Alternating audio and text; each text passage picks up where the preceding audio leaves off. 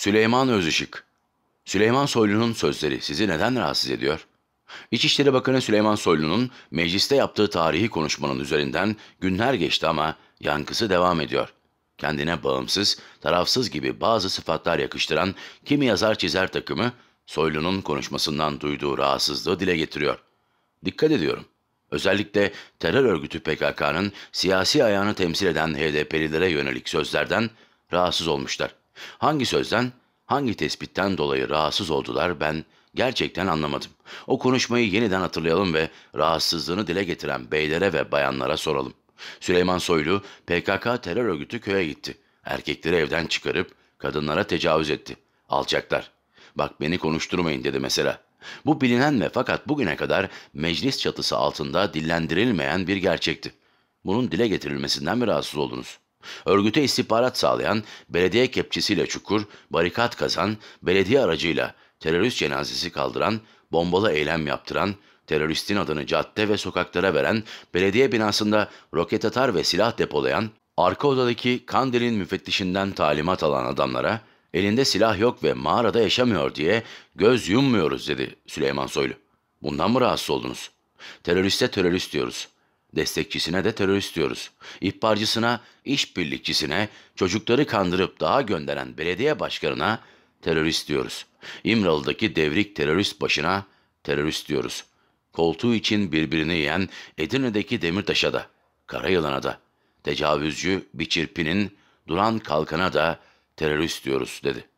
Bu cümlenin tamamından mı rahatsız oldunuz yoksa masumlaştırmaya çalıştığınız Selahattin Demirtaş teröristine terörist dediği için mi rahatsız oldunuz?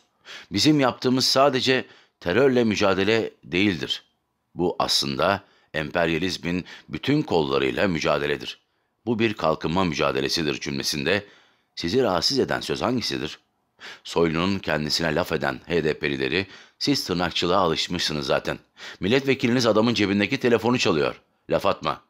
Ama başka bir şey daha söyleyeyim. O telefonu asit kuyusuna atsan da içindekileri çözebilecek teknolojiye ulaştık cevabıyla yerle yeksan etmesi mi sizi rahatsız etti? Ya da HDP'li vekillerin PKK'nın katliamlarına ses etmemesine öfkelenip sizin az buçuk haysiyetiniz olsa siviller için başsağlığı dilersiniz. Haysiyetsizler, haysiyetsizler, haysiyetsizler. Bu çocukların hesabını vereceksiniz diyerek şehit yakınları adına isyan çığlıkları atmasına mı takıldınız? Veyahut PKK'nın şehit ettiği işçilerin fotoğraflarını gösterip bunlar emekçi. Hiç utanmıyorsunuz değil mi? İşçi bunlar işçi. Alın teriyle para kazanmak isteyenler. Bu katliamlara ses çıkaramıyorsunuz. PKK'nın kölesi olmuşsunuz demesi mi zorunuza gitti? Bunların hangisinden rahatsız oldunuz? Madem itiraz ediyorsunuz, o zaman biz değil, siz söyleyin. İçişleri Bakanı'nın dile getirdiği bu olayların hangisi olmadı, hangisi yaşanmadı?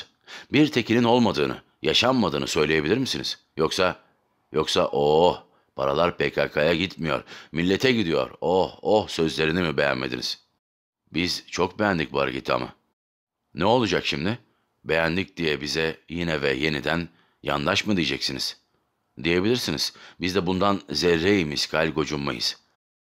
Allah bizi devlet için, millet için, bayrak ve toprak için mücadele edenlere yandaş yapsın da 3-5 oy için PKK'nın siyasi ayağı HDP'ye yoldaşlık edenlerden eylemesin yeter ki. Bu söylediğim çok mu kaçtı? Çok mu zorunuza gitti? Oh, işte bu beni daha da mutlu etti.''